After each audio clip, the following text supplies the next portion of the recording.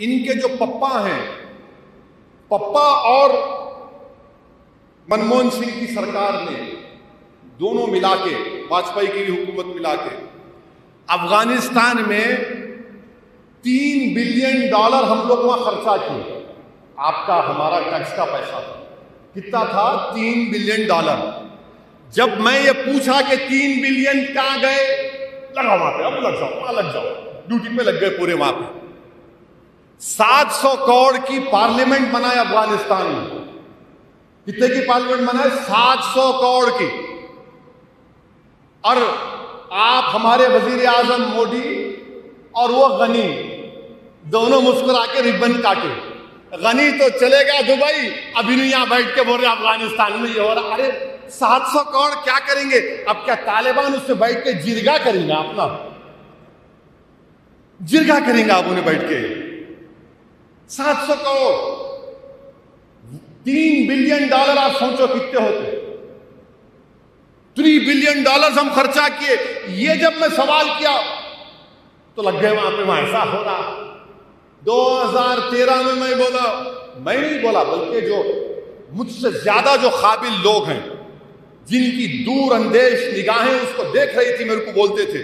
और मुझमें आदत यह है कि अगर मेरे को कोई चीज़ नहीं आती तो मैं बगैर किसी तकल्लुफ के उनको फ़ोन करके या उनसे मिलकर पूछता हूँ, मेरे को समझ में नहीं आ रहा, बताओ उस वक्त से बोल रहे, वो तमाम सिक्योरिटी के एक्सपर्ट बड़े बड़े सहाफी जो हैं, कि देखो ये होगा। चौदह में, पंद्रह में बोला, आप क्या करें बताइए आप। आप तो दूर हो गए उन लोगों से। अब अब सबसे बड़ा फ़ायदा पाकिस्तान को हुआ। मेरे को अफ़गानिस्तान से कभी कोई मतलब नहीं था, ना तालिबान से। मेरे को भारत से मतलब हमेशा है और रहेगा। पाकिस्तान उस जगह को अब वही सिक्योरिटी एक्सपर्ट्स कह रहे हैं कि अलकायदा और दाइश। अफ़गानिस्तान के वो बहुत बड़ा मुल्क है, जहाँ पर हुकूमत ही नहीं है। ऐसे कई इलाके माने तीन तीन सौ, चार चार सौ किलोमीटर रकबे पर कोई चीज़ नहीं है। वहाँ पर दाइश, अलकायदा आ चुके हैं। सीरिया से इराक से वहाँ शिफ्ट हो गए।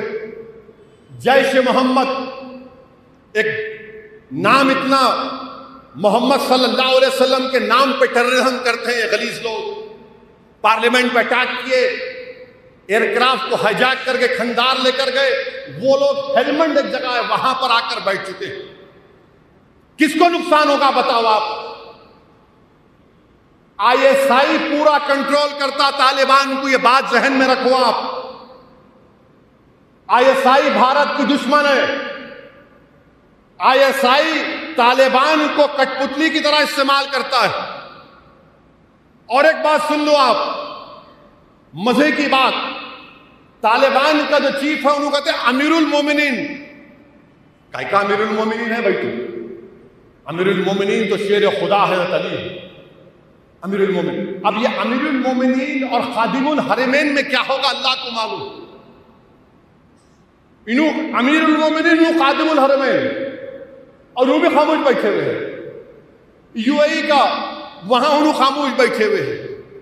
और सबसे दूसरा बड़ा फ़ायदा ये चीन को। चीन। अब चीन क्या कर रहा है? बदक्ष मैं ये खुल के इसलिए बोल रहा हूँ कि लोगों को मालूम होना आप लोगों को। बदक्षा एक जगह है। अफ़गानिस्तान और चीन के बॉर्डर पर।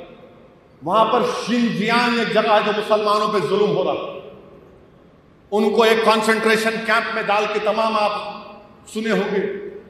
तो चीन इनको बोल दिया, देखो, बदख्शान में ये ईस्ट तुर्कमेनिस्तान की जो वहाँ पर तंजीम है, उनको मत आने दो। और चीन ये बोला कि हम जो है, चीन ईरान से ऑलरेडी एक कॉन्ट्रैक्ट साइन कर लिया कई बिलियंस ऑफ़ डॉलर्स का।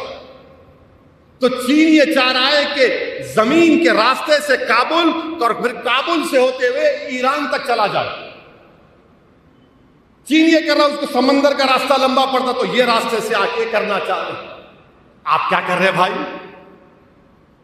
आप क्या कर रहे बताइए ना।